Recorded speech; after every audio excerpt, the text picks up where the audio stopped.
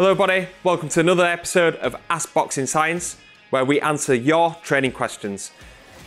We've received a question about the trap bar deadlift. Know, do, do we choose a trap bar deadlift or do we go for a conventional deadlift? And the reason why we get this question so much across our social media channels is because we do a lot of trap bar deadlifts and people want to know the benefits of you know, the reasons why we choose this over a conventional deadlift. Before I get into answering that question and a few different tips around uh, deadlifting, I just want to give a big shout out to our YouTube sponsors, Saga Fitness. Saga Fitness are specialists in BFR cuffs, blood flow restriction training, and their BFR cuffs are available on their website. They're highly effective on improving strength and hypertrophy. If you're wanting to grab a pair of BFR cuffs, check out the link in the description and also uh, use the discount code Boxing Science to save yourself 10% off their upper and lower body cuffs, or you can get a bundle of both. The trap bar deadlift is an effective exercise for boxing. There's multiple reasons why, I'm going to cover this now. The, one of the key reasons are these handles for a couple of reasons. The handles are raised, so a boxer will struggle to get into the start position of a deadlift due to poor hip mobility and postural stability, and maybe the shoulders as well. So when they grab a conventional deadlift, it kind of rounds their posture and they have to get a little bit lower. These handles are raised so they don't have to go down as steep. And also, because they're in a neutral position, it's easier to get that scapular retraction to make sure that you keep a nice straight posture during the deadlift. Now, a conventional deadlift, because it's in front, makes it quite anterior dominant in the shoulders and quite hard to maintain that scapular retraction, especially when you're going under increased load. So if we are going to do conventional deadlifts with our boxers, one, we're putting them under a little bit more strain through their lower back and keeping the, them shoulders pinned back. So it's increasing that likelihood of injury whilst lifting, which is something that we don't want to do. But also we're, we're very keen on maintaining that technique whilst lifting heavy because of the safety aspect, but also making sure that we're getting the most out of the exercise. So we'd only limit our boxers to the technique that they can keep. Now, if you're finding it quite hard on the conventional deadlift to maintain that posture, that will limit the amount of load that you're lifting. So that will limit the, the strength adaptations. And in, in a 10 week training camp for a boxer, we want to optimize the adaptations um, during training camp so a boxer is in peak physical condition when they get into the ring.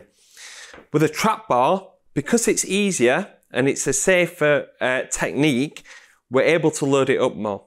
So we're hitting 2.2, 2.3 times body mass with some of our elite boxers here at Boxing Science. They would not be able to achieve that uh, when they're doing a straight bar deadlift. And even though there's many benefits to straight bar deadlift, we want to get our boxers strong. We want to increase the rate of force development. So we need to find a way of like optimizing that. There's a saying of training the adaptation and not the exercise. So with the trap bar deadlift, we're not training the deadlift movement um, for powerlifting or anything like that but we're optimizing the load, we're optimizing the rate of force development, and we're optimizing the adaptation so our athletes getting stronger and faster. So now I'm going to just uh, go through some of the pros and cons of conventional deadlifts and trap bar deadlifts. So let's go through some of the pros and cons of the conventional deadlift and the trap bar deadlift. So even though I'd prefer to use a trap bar deadlift with our boxers, we do put the conventional deadlift in their programs, especially early on. The reasons why is that it strengthens the posterior chain more compared to trap bar deadlift, and also it transfers to Olympic lifting. So if you're wanting to get your boxer uh, doing like clean pulls or clean variations or uh, snatch variations as well, this has a bigger transfer to Olympic lifting than uh, a trap bar deadlift. Getting on a straight, getting on a straight bar, learning that deadlift pattern, this will transfer to a clean pull. There's no point doing all of our foundational work, doing trap bar deadlifts, ignoring the conventional deadlift, and then just expecting our athlete to be able to uh, perform Olympic lifting variations. So it's important to keep this in the program, especially early on. But the reasons why we don't use it to get max strength adaptations is because there's an increased activation of the lower back. So this is increasing the chances of uh, injury because our, uh, our boxers will tend to want to use the lower back over using the hamstrings and the glutes during this action. Uh, it's harder technique, so that makes it harder to load. So it's not being as safe and as effective as a trap bar deadlift. And also, it doesn't transfer to a popular exercise that we use at Boxing Science, the trap bar jumps. So the same way that a conventional deadlift transfers to Olympic lifting, where trap bar deadlift doesn't, a conventional deadlift won't transfer to uh, performing uh, the trap bar jumps, which is a key exercise that we use during the strength speed and speed strength phases. Now, trap bar deadlift, just go over the pros again. Uh, it's an easier technique to perform. This makes it easier to load. So it's a safer and more effective exercise technique. And also it transfers towards our trap, uh, trap bar jumps, which are highly effective in increasing the rate of force development. Some of the cons are that it doesn't transfer to Olympic lifting, like I just mentioned. And also it can be knee dominant because we've got handles, because we're more like squatting down into the deadlift position. An athlete could tend to be in a more upright position than they would do on a conventional deadlift. So this means that it becomes more knee dominant and doesn't challenge the posterior chain as much. So in this next section, I'm going to go over some of the key coaching cues when performing a trap bar deadlift. So now I'm going to demonstrate how to perform the trap bar deadlift. We step into the bar with our feet hip width apart and on line with the center of the bar. So on line the fulcrum of the bar here. A key mistake would be to go too far forward or too far back. You just want to be just in the middle. When we come down to pick up the bar, we want to keep the shoulders pinned back and we want to hinge at the hips as we come down where hips are just above the knees. Remember what I just said earlier is that the a lot of mistake would be to be too upright and it become a knee dominant movement. We push the hips back so the hips are just above the knees. When we lift, we pull our shoulders back, we drive into the floor, and then lift nice and explosively. Obviously this depends, the speed of the bar depends on how much load, but we want to try and lift as quickly as we can each time. Take a deep breath in before we go, a lot of tension, take the slack out of the bar, and then drive up. So now I'm gonna go over some of the key coaching cues to eliminate some mistakes that I see in the gym. The first one is not taking enough slack out the bar before you lift. So an athlete can want to lift as fast as they can, as we've cued just earlier, but start lifting, they get into a nice start position, but as soon as they start lifting, they lose the posture because they're trying to lift as fast as they can. This is because they're not taking the slack out of the bar. Now, a key coaching cue that I use, hopefully Jamie can put a nice video over this, is uh, like a, you want to deadlift like it's a space rocket launch. So when they're counting down from, I don't know how far they count down, probably five minutes, but let's say for the last 10 seconds, is where you start seeing the jet fuel coming from the rocket, but the stabilizer is still on. So they're creating that energy before the space rocket goes. And that's what you want to do when you're doing a deadlift.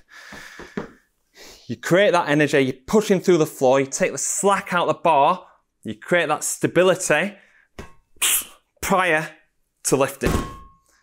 Okay, so it's a little bit like a space rocket. If that space rocket isn't stabilized, um, whilst it's creating that energy, well, it'll just fall over and crash. And this is what happens with a deadlift. If we don't create that energy first, take deep breath in, push through the floor, pin those shoulders back, and then drive up, it creates for a safer and more effective lift. Now this also transfers into the second one. Second key coaching cue is instead of performing three reps or five reps, I tell the athletes to perform three or five single repetitions. And what I mean by this is not just coming down, tapping, and, and performing the reps as quickly as I can. I say to when they get to the bottom, the, the rest, the reset, and then the repeat. So using the three R's, rest, reset, repeat. And what this does is maintain that posture whilst you're fatiguing in the reps and making sure that you're putting optimum force and optimum speed into each repetition. You Tend to do when you're just repping out is end up losing the posture and also losing that speed and intent. So when you rest, reset, repeat, rest, reset, shoulders pin back, repeat that movement. And you're going into the each movement with a safer technique and also optimize rate of force development. And then the final one is making sure you're getting a solid hip extension. So when we're driving our hips through, we want to get our hips in and under to make sure that we're squeezing the glutes and optimizing that glute development. What I tend to see is that boxers will start to use the lower back and lean into the movement and start overcompensating with their lower back muscles. What you want to do is when they extend, get them hips and under, keep the core switched on, and extend to just on line with the arms. You don't want to be going past your arms. You want to keep your arms pinned back and keep the hips on line with arms.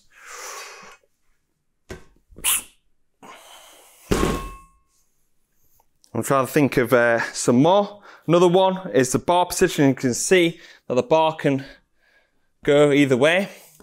You don't want to be starting with the grip and, and the bar being unbalanced. You want to make sure that the bar is balanced before you go.